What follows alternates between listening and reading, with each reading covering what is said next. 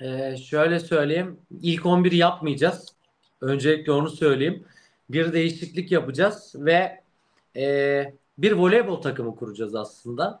Hazır ülkemizin de Viyanel'de temsil ettiği hem kadın takımımız hem de erkek takımımızı da biraz daha anarak bugün bir voleybol takımı kurmayı seçtik. Hem, hem sen de, hem de ben eski voleybolcularız. hem de e, yayının başlığını da aslında böyle belirledik diyebilirim. Şimdi Libero'dan başlamak istiyorum. Bir savunma bakanı olarak ben Libero'ya Aselsan'ı koyuyorum. Aselsan'ın yanına da Tüpraş'ı koyuyorum. E, neden? Zaten farklı arkadaşlarımızın da yaptığı birçok yorum var. Aselsan ve Tüpraş'ta potansiyel olduğunu düşünmekle birlikte biraz daha korunmacı hisse senetleri olduğunu da bence e, söyleyebilirim. Yani belki yatırımcıyı bekletip bekletip bir anda yükselen e, hisse senetlerinin de bence başında geliyorlar aslında bu şirketler diye düşünüyorum. E, şimdi smaçörlere geçiyorum. İki tane smaçörümüzün bence bir tanesi mavi. Bir tanesi de Astor. Bunlara yedek olarak da şişenin aslında smaçör kadromuzda olması gerektiğini düşünen taraftayım. Hı hı. E, zaten bu şirketler e, şöyle söyleyeyim Astor'da zaten raporumuz var. Hani detayları internet sitemizden de e, bulabilir izleyicilerimiz, yatırımcılarımız. Astor'da şöyle bir şey söyleyeyim. E, yani transformatör sektöründe hem üretici hem satıcı şirketlerden bir tanesi olup ihracat oranı da yüksek. Yurt dışı benzer şirketlerine göre de bence iskontolu e, işlem görüyor Astor hisse senedi. E, şişe tarafı beklentiler yüksek. E, özellikle bu sene ve 2025 yılına doğru ben bir atak yapacağını e, şişe camın düşünen taraftayım. Benim beğendiğim şirketlerden de bir tanesi. E, mavi tarafı zaten giyim perakende. Enflasyonist ortamda perakende sektörü ön plana çıkıyor.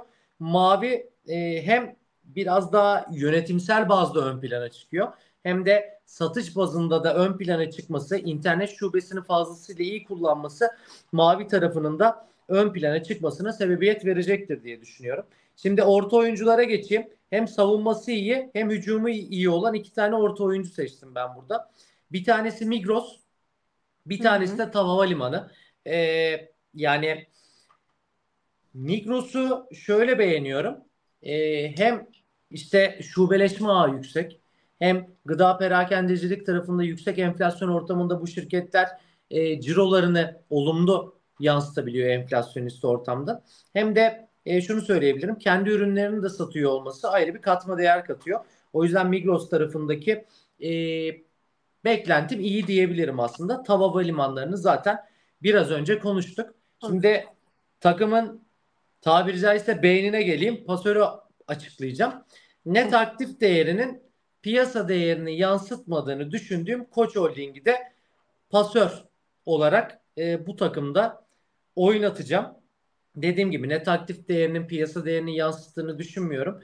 Riski dağıtan çeşitlendirilmiş portföy yapısı e, ve diğer taraftan şirketin iştiraklerinin aslında güçlü olması Koç Holding'i ön plana çıkartıyor. Ayrıca yabancı yatırımcı ilgisinin de yüksek olduğu şirketlerden bir tanesi. Yabancı yatırımcının da daha da fazla e, gelmesi durumunda Koç Holding'i hiç de göz ardı edeceğini düşünmüyorum. Şimdi pasör çaprazını senin tahmin etmeni isteyeceğim.